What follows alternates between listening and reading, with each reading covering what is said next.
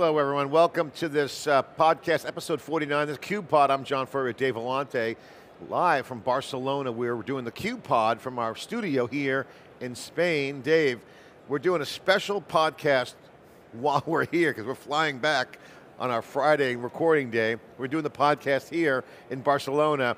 Um, Love it. it's it's hard charging, but there's not dry air like Vegas. But the voice is still from all the talking we're doing. We're continuing to talk with some of the interviews here at the Cube. Um, great events for the Cube.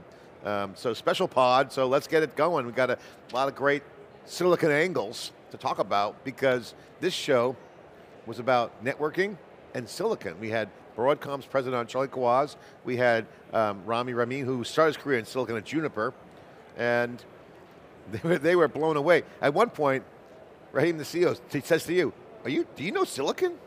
he said, he asked me, "Are you a silicon guy?" I was like, "No, I'm not, but I love silicon. I've been following We've been covering forever." silicon chips uh, since we started 14 years ago. I mean, Silicon Angle. You can't get any more silicon than in the name Silicon Angle. My, my first exposure to silicon was when I, after I graduated from college, did a little programming, wasn't very good at it, started at IDC.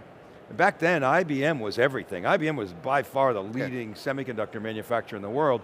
And so we would go up, we would tour their facilities. I remember going to Essex Junction, Vermont, where they had this you know, semiconductor facility and getting educated by these you know, IBM research guys. So I mean, we go way back. When Silicon Angle started, we've been covering chips, silicon, from a data center perspective with Intel, AMD. Intel was dominant at that time, but then when ARM hit the scene, we chronicalized the the A- the A- the uh, chip business from data center to cloud, and we broke the Annapurna story. So before Amazon even bought Annapurna, I held in my hand the first chip.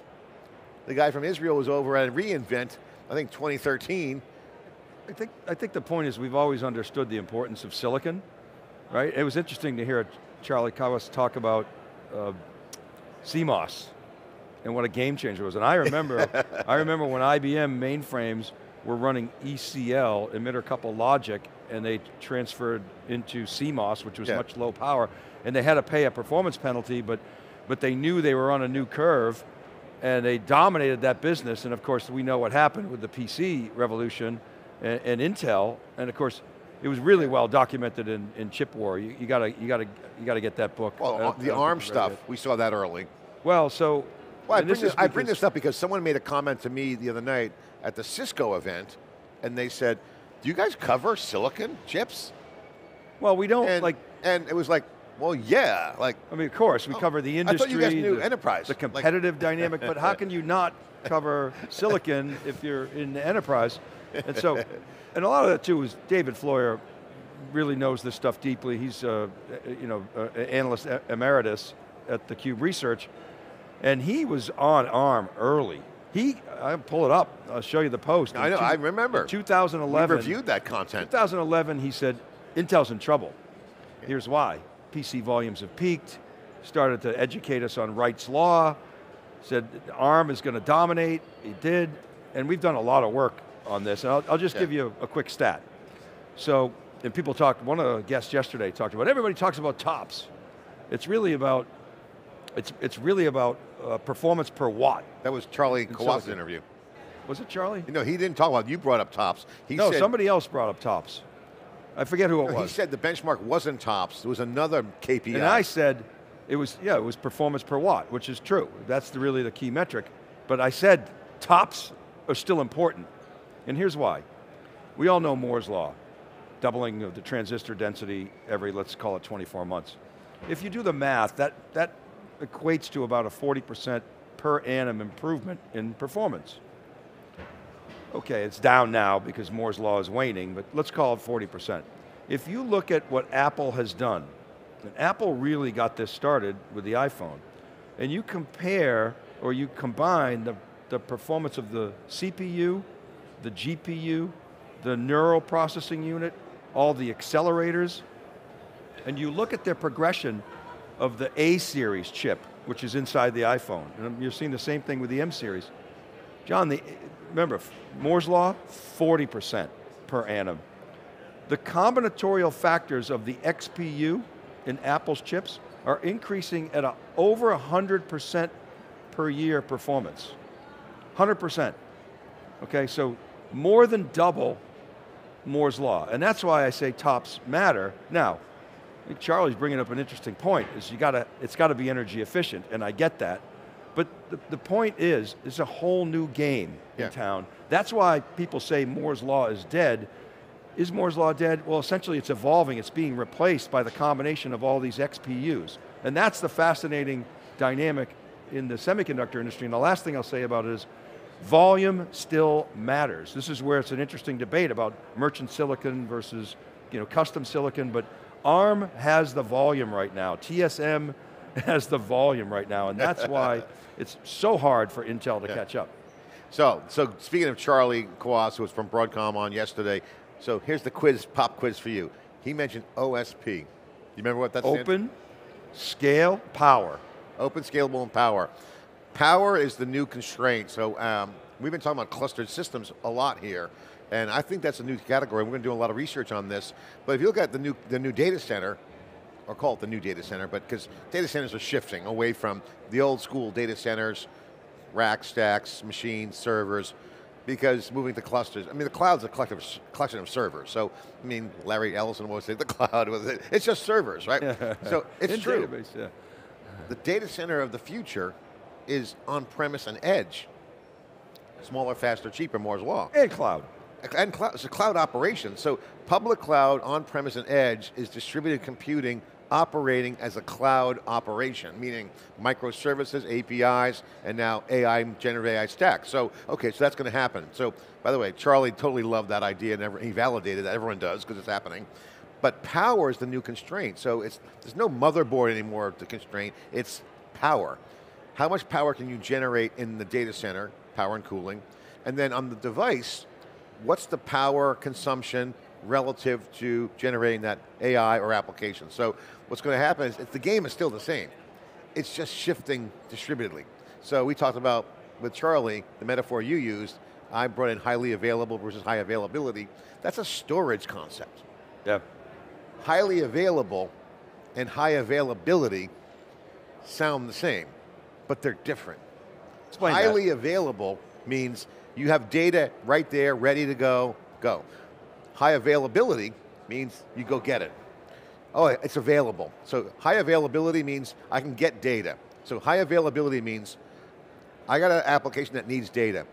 It's available, meaning it's on a server somewhere else. You got to go fetch it, so across the network. Highly available means it's on the device itself, low latency. So when you talk about tactical warfare, like military operations, any kind of drone activity, the tactical edge they call it, uh, or edge in this case with- consumers, if you need data instantly, it's got to be on the device, not And a that's what query to a Qualcomm was server. talking about yesterday, right? Yeah, and that nuance, that's an old concept. That's a computer science concept that's been around for years. So what's happening is these concepts are being recasted in a new architecture. So these clusters matter. GPUs with all the, all the sexy uh, conversation right now, but it's NICs and switches. So Broadcom and NVIDIA are the only two companies that actually make both. Now, GPUs, NVIDIA has GPUs, so they get a little advantage. To your point, the GPUs are going to be only one element, so NVIDIA's got a little bit of a lead on Broadcom on that point, hence the valuation. So you're going to see a whole they're nother generation. Well, I, again, what does it mean? All this means that an entire new generation of computer science and IT is coming fast. That is going down now. So it's the same wine, new bottle, as the expression goes. So all the same concepts are rolling into an entirely new generation of IT. So IBM's over it, all over it, and all the companies are all over it. And the telcos are like, well, we got the pipes. but we're not IT capable. So that's why 5G is not working right now. So 5G is awesome. You have great blanket coverage, but guess what? Making that enterprise ready, I, not um, going to happen. I got to pick up on a couple of things you said there. it was a lot of knowledge you just dropped. But so I want to, I want to talk about something that I think I was asleep at the wheel on that we talked about on the last QPod, where I've been saying, I feel like NVIDIA's got a substantial moat. And we debated, the industry is debating about, and I think there's a consensus, there's going to be all these alternatives that come out. Yeah. AMD, Intel, um, things like LPUs, very specialized processors, and I have said, yeah, but none of them are going to have a monopoly, like NVIDIA. Well, where I was asleep at the wheel was Broadcom. Broadcom essentially has monopoly-like business. It's got very, very high gross margins, almost 70% gross margins. Yeah. And of course, you know, it's got VMware-like gross margins. you know, And it's getting better. So I kind of missed that, uh, just not really thinking about it. And I missed it because I was thinking narrowly about broad, uh, NVIDIA's GPU competitors. Okay, so I think I would put Broadcom in the mix. They are the number two Yeah. AI company by valuation. They're an AI company, right? By, because AI is everything now. They're like perfectly situated for AI, even though Charlie Kawwas would tell you, we we weren't like trying to go after the AI curve. That wasn't our strategy. We were going after 10-year durable businesses. So that's one thing I wanted to mention. The other point is, is the low latency, edge, real-time data in the moment. From a silicon standpoint, Tesla is the best example. This is a company that said, we're not going to use Mobileye, Intel's chipset, right? They're silicon. We're going to develop our own custom silicon using ARM. Why did they do that? Because they wanted to get rid of LiDAR. Now whether or not getting rid of LiDAR is the right thing or the safest thing, I don't know. But I do know that they- they saved roughly $2,000 a vehicle by using low cost cameras and developing their own custom chipsets with highly customizable NPU code that they developed themselves so that they could interpret what was going on and use low cost cameras. And the last thing was interesting I want to bring up, and who am I to argue with Charlie Kawwas and Pat Gelsinger, but about chiplets. but, but, but Charlie admitted, I mean, he, he affirmed when I said chiplets are not anything new. Yeah. I mean, Pat's marketing it like there's this new radical thing called chiplets. Chiplets have been around for 40 years. Yeah. And Charlie said, yeah, that's true. Now, A lot of hand waving there with Pat Gelsinger. I mean, is it Well, he's- are you he's- saying it's smoke and mirrors? Uh, uh, no, it's not smoke and mirrors. Definitely not. It's just good marketing. Pat's like brilliant. and so, but he's making it sound like chiplets are this radical new thing. What is new is the silicon diversity that you're getting with the different types of XPUs.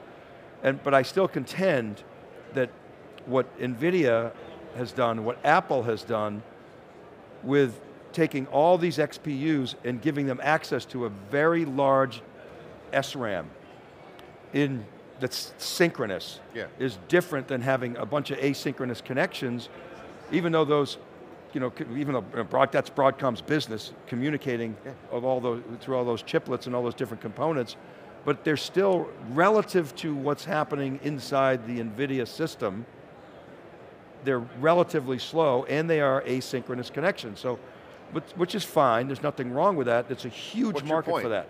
There's a huge market for that. My point is, I think the NVIDIA approach of what people call monolithic, they make that a pejorative, I think that has a very long life because we're going to continue to be training big, giant data models. I don't think that's a pejorative. I think it's in- a, it's a the feature. cloud. It's not a bug. Well, it's right, but so, but my point is, we're going to need, and I think you'd agree, it's not, we're not like hitting up against the wall where we don't need any more, uh, uh, we, we actually are hitting against the wall. It's not like we don't need more GPU power. More GPU power you create, they're going to consume. That's kind of Jensen's law. I, I call it Jensen's law. The more you buy, the more you save. No, Jensen's law is buy more GPUs because we have software to run them. Buy more, save more. What law. Broadcom, what Broadcom's getting at, and what we're talking about at, at when we're at HP, uh, the HPC plus AI equation at supercomputing, is that the supercomputing market is now mainstream because of clusters. We are seeing clustered systems. Monolithic is not a bug; it's a feature. So if you got a workload, you run it on a, a cluster that's going to service Well, that's that good news for So- HPE. so collection of clusters is a distributed computing paradigm. And so, you know, even Charlie Kawwas from Broadcom, the president, said the word superclusters yesterday. Oh, yeah. I asked him, you know, why does AI need all these chips? and it's not just GPUs, it's a combination of GPUs and chips around it. So GPUs will be one element in the clustered man system management. So we are going through a systems revolution again. No question. And so the shift is data center to cloud. Andy Jassy said, data center is moving to the cloud. He was kind of right, but not 100%. Meaning cloud one, now cloud and on-premise data center is going to convert into cloud operations, which has to look like Amazon, which is clusters. So rack and stack the old way is over. I think the idea of super cloud will be a series of super chips, super clusters. And so all that's going that way. If you look at the, the GPU clouds, they're all clustered systems. So managed service, hey, you know who wins? The hosting providers. Equinix, anyone with power, anyone who has a data center is going to be in business. So I had even someone off the record said to me, we were going to close down our data center. Turned out, good call not to. Yeah, They're well, in huge demand. So I think the scarce resource is going to be data center, facilities, power and cooling, and GPUs. and to your point, you know, in And that's going to define the economics. Yeah, and to your point, well, okay, so let's talk about economics, but I want to just say to your point, Jensen will often say that his systems, they, they weigh 70 pounds, right? And they have hundreds of thousands of components in there. And what's interesting, well, from an economic standpoint, this is where I think it's a bit of a wild card, particularly what Charlie was saying about power per watt as the key metric. And I don't know, I mean, what does that mean for NVIDIA? Can it get its, its, its, its energy economics to the point where it can actually continue to grow? That's, I don't know. That's something we got to look into. I'm sure we're going to hear a lot about that at GTC in a couple of weeks. And NVIDIA is just amazing, right? They started in gaming, they got the tailwind from crypto, and then when crypto tanked, you know, everything went over to, to AI and it, building LLMs and then ChatGPT. Now crypto's back. Uh, I mean, basically Bitcoin is flirting with its all-time high. I think it hit 62,000 today or yesterday. I think its all-time high is uh, 64,000. Right, so that's a big story too, John. I mean, I don't know. Well, I mean, all this, all this converging. The nexus of, uh, of AI and cloud is really about distributed computing. And why I'm so hardcore on this whole clustered systems approach is we're doing a boatload of research on Cube, Cube uh, research area. The Cube te- research team is going to build on our ARM work that you guys have done and we've done. Um, the old private cloud, cloud computing work, to this new idea that cloud operations is going full distributed computing. Means it's not going to be like cloud versus data center anymore. It's going to be the cloud is the operating model, period, full stop. Hybrid cloud is the standard. So I got Amazon or Azure, I'm going to have an on-premise data center-like experience, but it's not the old school data center. It's the AI system. It's the clustered systems. And then you got the edge, which will be device specific, and or designed, engineered systems that's connected to the to the uh, cloud or, or clusters that are serving it. So again, everything's going to work in, in, in tandem, in harmony. So it is basically mainframe. So, so if you get this idea, like, okay, that's why the telcos are struggling because if they don't, if they don't lean into being part of the system, they're going to be just the pipes. And so they'll have device access, so, you know, the dumb pipes.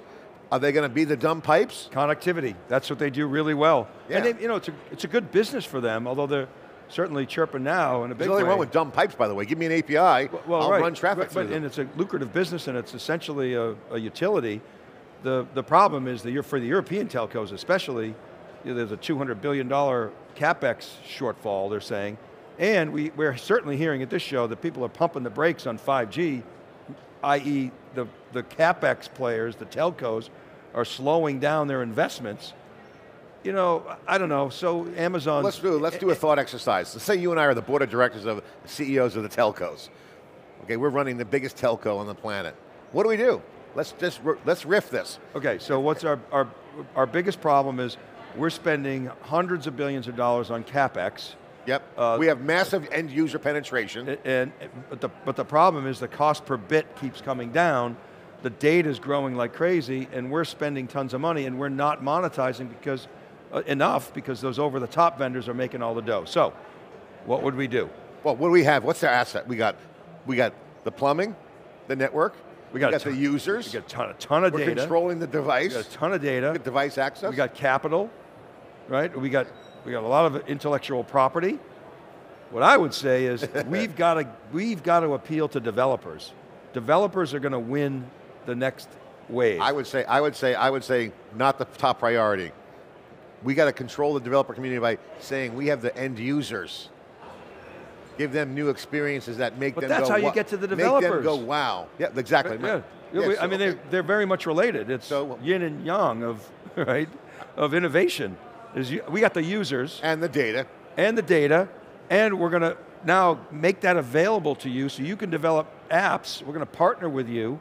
We're going to build an ecosystem. I would say I would do the following. I, I, if I was in charge, I'd take over the telco immediately and saying, get the data, all the data, operational data, end user data, get that foundational model built with AI immediately and offer that up to developers. And saying, here's an API, I'll charge by the drink on transactions. Because remember, when, when the cell, when the cellular model went from voice to data, they made so much bank. Remember those days? Yeah. Data is the money, money, money machine. So I would say the new, that new business model is data, but the new data is operational efficiency and then end user experiences by using the data that they got, roaming data, location data, every interaction data, and then say, okay developers, use my API to give end user experiences and I'll give you distribution on the application side and I'll get paid on every single transaction. okay. Like Stripe does, like everyone else does. Okay, so the way I would do that is I would have an all hands meeting, okay, and I would hire Steve Ballmer, come in, and I'd say, And Steve, dance around. I'd say, get all sweaty, okay? hey, get the armpits going, and then come in and start ranting about developers, developers, developers, because we got to solve this problem. That's how we're not going to get bogarted again by the over-the-top vendors the way we did 10, 15 years ago. And, and then, so that's one. I would definitely get that Amazon vibe going if I was a uh, telco. And then I would do is, I would, I would nail the enterprise. I would say, look, it, we got to get the business to business market down.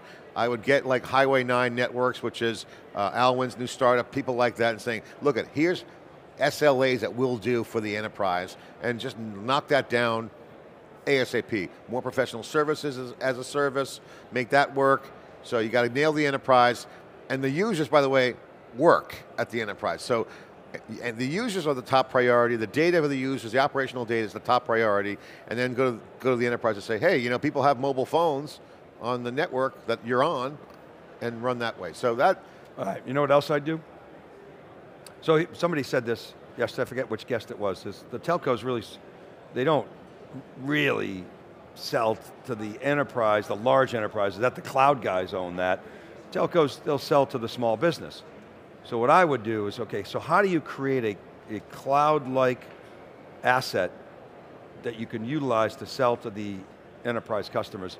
So I would spend $50 billion, I mean they're spending CapEx like crazy anyway, I would spend $50 billion and buy Cloudflare.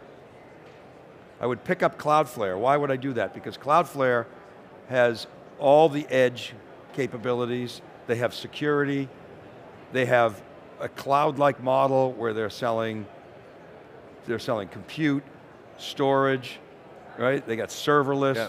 They got, and, and, and people look at Cloudflare and they go, well, that's not really fully functional. It's like lightweight Amazon. But I would, I would acquire them, invest like crazy, open up my developer network and, and, and take out Cloudflare. 50 billion would get it done. Cloudflare is a great company. Definitely good call. well, Dave, this is, we're at MWC, we're in Barcelona. Obviously, telcos, the world here. Great, a lot of news going on around the internet. Obviously, um, AI is the hot thing. Apple's getting out of the car business. Um, uh, Microsoft. Oh, they didn't know that. That's, uh, Frank Slootman stepping down from Snowflake. yeah, that's big news. That's huge news. And stock dropped 20%, by the way. 20%? Yeah, Oh, that's a buy. Sridhar Rama- Ramaswamy is going to be the new CEO. The key to me is if, if is Mike Scarpelli retiring too? If Scarpelli's not retiring, that I would, 20% not premium. that we give advice, don't take our advice on buying stocks. Buy the hell out of it. I mean, Mike Scarpelli runs the operations of that company. Slootman's always had the board, and he had the vision, and he had the, the, you know, the ethos and the, you know, go direct. I mean, you know, He won the race. Amp it up. Yeah, yeah. Sailor. He, he, but, but I mean, he's reached his continent. But Scarpelli, you know, runs the day to day. Yeah. That's why that company Yeah. is, is such a, a strong. This same thing happened when Slootman left ServiceNow.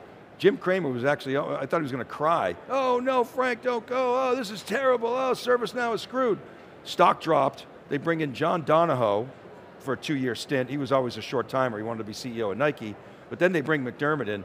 Look at ServiceNow today. I mean, first of all, in my experience, Slootman doesn't leave companies in bad shape, okay? Because he's, he's always been in it. I mean, he came back, he was in it for the sport. The last thing he wants to do is leave a legacy of, oh, I flipped the keys to a company that wasn't in a good position. Look at Data Domain. He, with, with Frank Patrone, they created an auction between NetApp and EMC. Joe Tucci won because he had a, more cash. Slootman stayed on and helped clean up EMC's kind of dysfunctional data protection business. Remember Avamar Yeah. versus Data Domain? Slootman stayed on. He didn't have to stay on. He could have said, hey, I'm out of here. Yeah, he did the right thing. and he, and he, He did the right thing. He did real work to make sure that before he left EMC, their data protection business was in good shape and it, it kicked ass after he left. Same thing with, with, with ServiceNow. He left that company in great shape. He, he, he, made sure that they were expanding their TAM, they were reaching new markets, they were launching an app development you know, platform. He did all of that work, cleaned that company up. And then look at Snowflake. When he came on Snowflake, he even told me this to one time. He said, these guys had product market fit years before they built their go-to-market. He, he came in, he goes, you guys have such great product market fit, you just don't have go-to-market fit. We're going to solve that problem. And of course, the other thing that Slootman did, he continued to invest in engineering talent. So he, this, that company is in very good shape. They're facing some challenges, there's no question. Um, you know, there's, people don't like their pricing, they think it's too expensive, but that's a good problem to have if you can sell the value. So that's interesting. I didn't, I, didn't realize the stock dropped so much. I'm, I guess not pay attention, but I would say that's, an, that's a buying opportunity um, for Well, let me ask you a question. investors. Here at MWC, which is basically an enterprise show at this point, you got a lot of vendors here, um, classic, enterprise, cloud, data. Uh, Snowflake's mentioned here, one of the sponsors. Um, what's your angle on that? Because I think to me, my, my takeaway is, is that you know, you always had American companies here, but more enterprise than ever before. I think that this show is converting quickly into being a combination of reInvent and CES, right? So you got Yeah, you got those. You got those two worlds coming together, and the opportunity that the GSM has, GSMA has has here, is to keep this show to be global, telecom based, cloud and, and developer, and make the U.S. show MWC about the enterprise. So, so to me, why would I want to go to the Vegas show if I'm going to come to uh, to to here? And I think their opportunity is to kind of create a line extension for the enterprise. There's enough demand, Dave, for this show to be in Vegas as enterprise. Meaning, no doubt. Meaning, IBM, HPE, Dell. VMware, Broadcom, Dell, uh, even the telcos want the enterprise business. 5G is enterprise. Look at 5G. Snowflake, has not Amazon, yet delivered Google, Microsoft. 5G outside of blanket coverage of great fixed wireless, outside of fixed wireless blanket coverage and, and connectivity. 5G has not found the killer app. Okay, consumers won't pay for it because they, they expect it now, like plumbing. And the, the only way to make money with 5G is the enterprise, business. And I think they got to make this an enterprise show at some level because it's just too lucrative. 5G will happen in the enterprise. It's just not happening now because of slicing's not ready for prime time and IT integration with telecom is terrible. So, you know, so what happens when there's demand and, and um, inadequate capabilities? Entrepreneurs step up like Allwyn and, and Highway 9. So, you know, entrepreneurs are going to step up. The big vendors are going to step up. If I'm Dell or I'm HPE, I'm like, I'm all over clustered systems. I'm all, I'm all over this next generation data center. So, John, I'm going to go back to a previous topic. Snowflake. I can't, I'm just looking at Snowflake's going to Still on Snowflake? Snowflake's going to open up. They're they're they're by 75 billion dollar market cap right now. They're they're going to lose about 18 billion dollars of market cap at the open.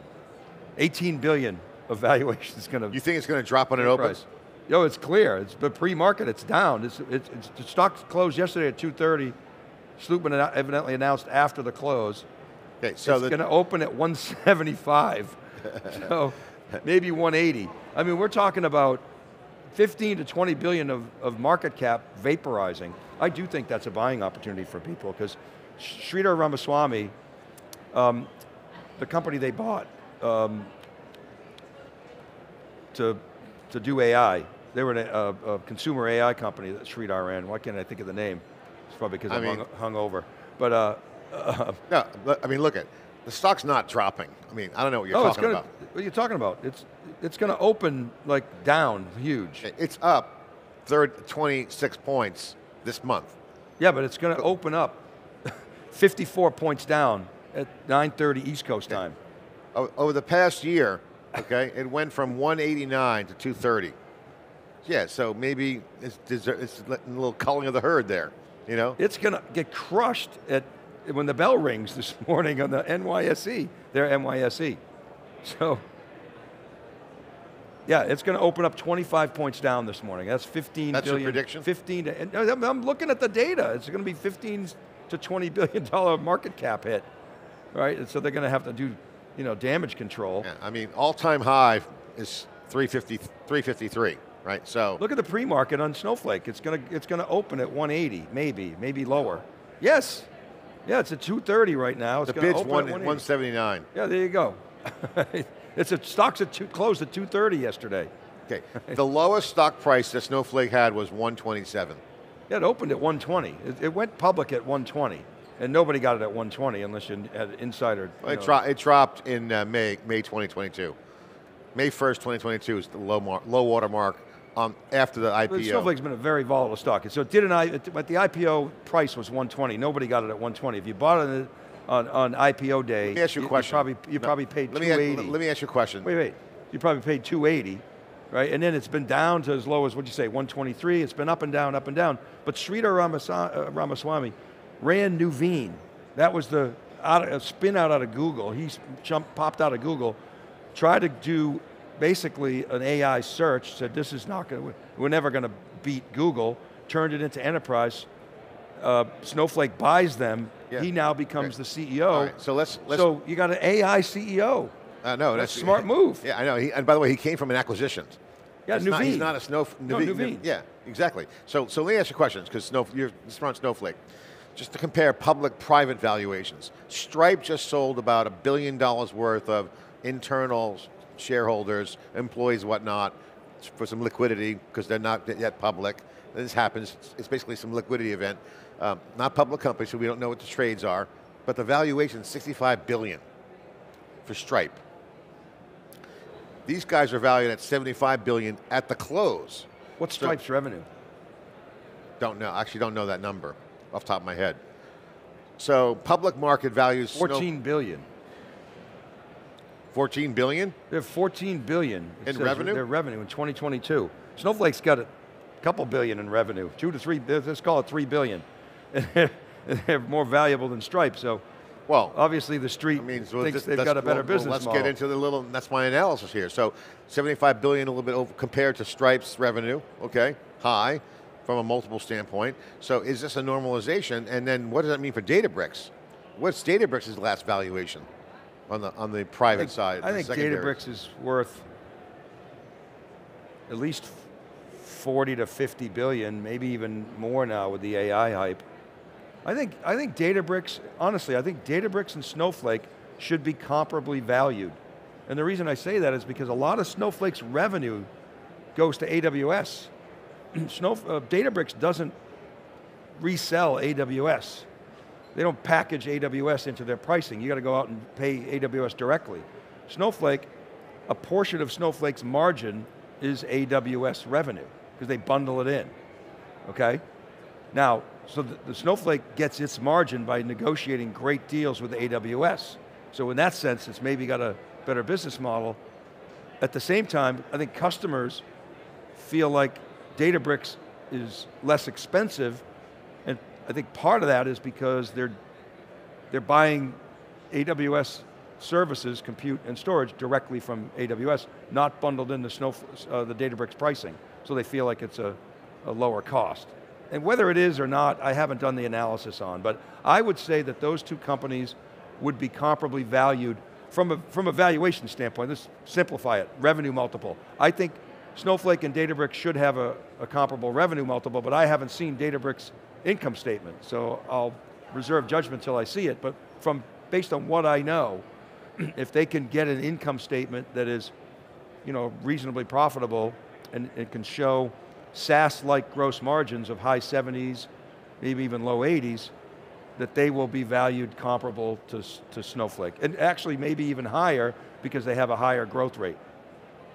So maybe, John, their overall valuation will be lower because Snowflake has more revenue, yeah. but, but I could see Databricks revenue multiple being higher because they're a higher growth company. Hopefully that made sense. I'm a little incoherent this morning. well, hey, four days into Mobile World Congress, we're here live in Barcelona. Love, love the city. I put on five pounds um, while we're here. Easily. Uh, it's so good food. Um, you know, obviously the Cube here has been um, a smashing success.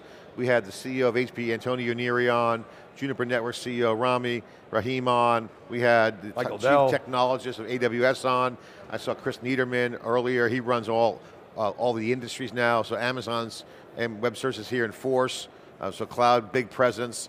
Um, you got Clint Crozier's here. I didn't see him, but I know he's here. He's got the space and the, the uh, satellite stuff going on. You had um, president of, of, Broadcom, Charlie Kawwas came on, and you had some startups here. So we had a broad swath of amazing guests come on.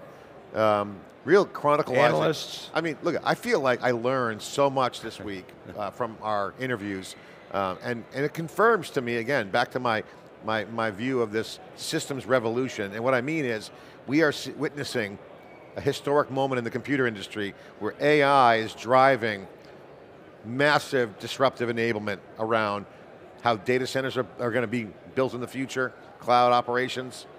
It's going to influence user experiences we've never seen before. I was talking to Samsung and some R&D folks in the hallways and some of the parties. What's coming on in the user experience side is all kinds of new interfaces to users, not just on the devices. Devices will be walls and screens, see-through screens, you got Vision Pro-like experiences, uh, and again, Vision Pro from Apple. I mean, I personally don't like that product. I to never wear the, the goggles, like the ski goggles, until it's unless, until I can feel comfortable doing that, but it'll get smaller. There'll be Ray-Bans like, like what Facebook's doing. That's going to end up happening. Augmented reality is coming big time. So device connectivity is absolutely going to be the thing. And the back office that powers that has to be re-architected. Re and it's not a complicated architecture. It's distributed computing.